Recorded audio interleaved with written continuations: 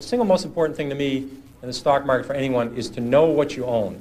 I'm amazed how many people own stocks. They, they would not be able to tell you why they own it. They couldn't say in a minute or less why they own it. Actually, if you really press them down, they'd say the reason I own this is the sucker's going up. I mean, that's the only reason. That's the only reason they own it. And if you can't explain, I'm serious, you can't explain to a 10-year-old in two minutes or less why you own a stock, you shouldn't own it.